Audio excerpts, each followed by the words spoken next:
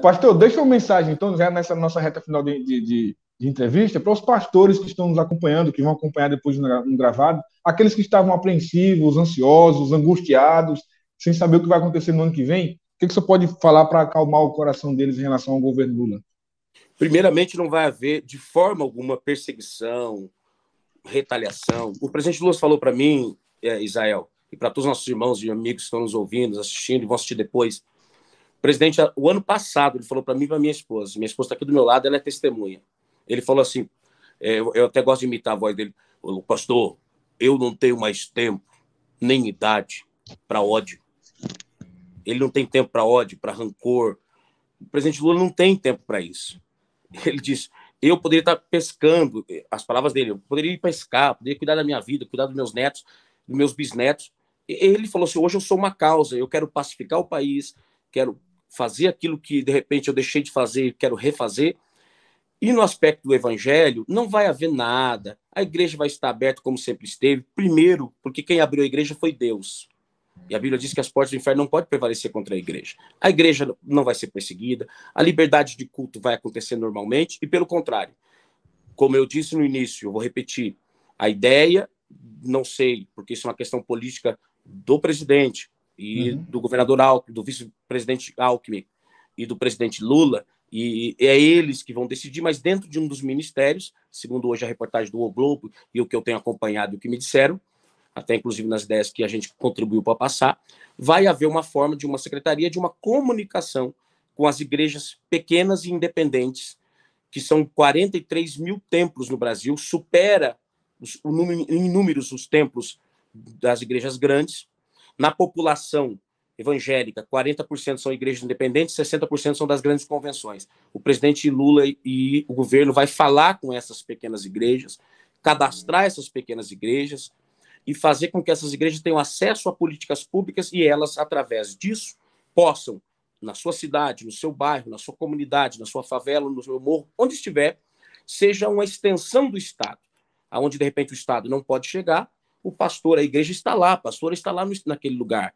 E pode, através desse cadastramento, através de serem cadastrados e serem preparados para ter acesso a, a políticas públicas, trazer para o próprio Estado um benefício e para a população, ou seja, ela ser uma, uma, um elo, uma ligação entre o Estado e a população menos favorecida dentro das comunidades, através de políticas públicas. Para isso, é claro, ela vai ter que ser enquadrada dentro do sentido de estar dentro dos padrões legais, e para isso nós vamos uhum. ajudá-las no sentido de, primeiro, cadastro, depois, nessa escola que, eu, que até saiu na matéria, ensinar essas igrejas como ter acesso a um CNPJ, a um estatuto, a, a ficar legalizado dentro do sistema. Dentro dessa igreja, a gente encontrar alguém lá dentro, toda igreja tem, um jovem, uma pessoa dinâmica que possa Verdade. ser um secretário do pastor e preparar tudo isso, essa documentação, e aí então inserir políticas públicas nessas igrejas.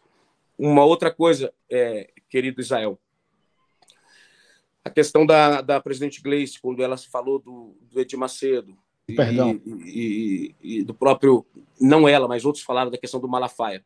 É que Edir Macedo e Malafaia, como eu disse no início, passaram de todos os limites possíveis. Os menores, os menores, não são culpados eles repetiam o discurso que vem lá de cima. Mas esse discurso que veio lá de cima, chegando aqui no chão de fábrica da igreja simples, é isso que nós vamos tentar mudar. De que seguinte forma? Preparar uma, uma, uma nova geração, porque se fizer aliança só com esses caras grandes, daqui a quatro anos eles resolvem trair de novo e vira por interesse e joga de novo a igreja contra o governo o que, que vai ter que fazer? Falar realmente com a essência da igreja, porque uma geração vai, outra geração vem, levantar novos líderes nesse Brasil e mostrar para eles que esquerda não é só o que eles imaginam. Uhum. Primeiro, aborto não é a questão de um presidente decidir, é Congresso que decide. A, a questão de ideologia de gênero, o, o, se, se, as pessoas têm que primeiro ler. É, o, ideologia de gênero, na verdade, o, o deputado que, que, que, tentou implantar isso há anos atrás, não é nem a palavra ideologia citada quatro vezes apenas no projeto. Tem 170 páginas. Eu tive a, o cuidado, tive, a né? tristeza de ficar lendo esse negócio, essas 170 páginas. A palavra é citada só quatro vezes, Israel. E o uhum. projeto chama Igualdade de Gênero. Não é ideologia de gênero. O projeto de ideologia de gênero não existe, nunca passou no Congresso isso. Nem na, na CCJ passou. É identidade, igualdade de gênero, ou seja, o homem recebeu o mesmo salário que uma mulher recebe, se faz o mesmo trabalho e assim por diante. Igualdade. Não tem nada de ideologia de gênero. Não vai ter banheiro unissex em colégio. Esquece que isso é loucura. O presidente Lula mesmo falou várias vezes. Falou assim: esse pessoal acha que eu sou louco? Eu tenho filha, eu tenho neto, eu tenho filho, eu tenho neta, eu tenho bisneta. Uhum. O único banheiro unissex que eu conheço é dentro da minha casa, que aqui em casa é unissex. Eu uso, minha esposa usa, aqui em casa é unissex. Mas na escola, em outro lugar, é umas loucuras. Então, pessoa, acalme o coração.